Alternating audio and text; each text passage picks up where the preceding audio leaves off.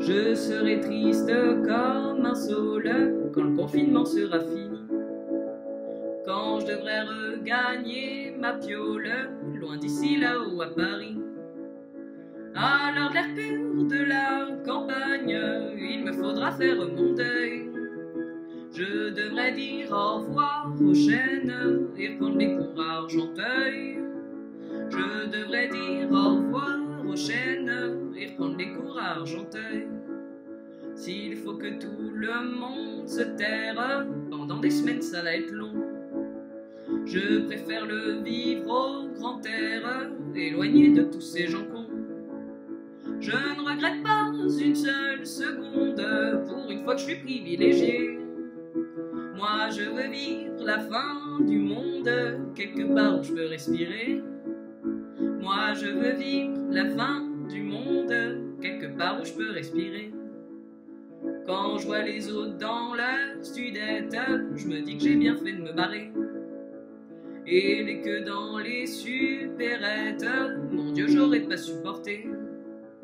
Désolé pour ceux que ça concerne, en fait non, j'en ai rien à foutre. Mais je tiens à dire pour votre gouverne que je commence à avoir des doutes. Mais je tiens à dire pour votre gouverne que je commence à avoir des doutes. Finalement je n'ai pas les armes, putain c'est que le huitième jour. J'ai même versé mes premières larmes quand j'ai capté que je ferais plus l'amour. Je ne suis plus la même personne, je me suis carrément mise au sport. Si ça se trouve je vais finir nonne, ce serait vraiment un drôle de sort.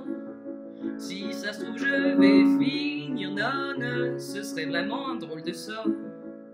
Ce que je regrette le plus, c'est d'être coincé avec mon frère. Ce foutu de coronavirus pourrait faire moi une meurtrière.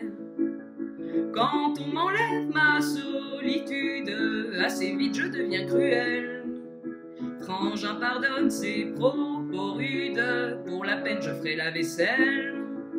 Frangin pardonne ses propos rudes, pour la peine je ferai la vaisselle. J'en ai fini mes anecdotes, c'est le dernier couplet promis.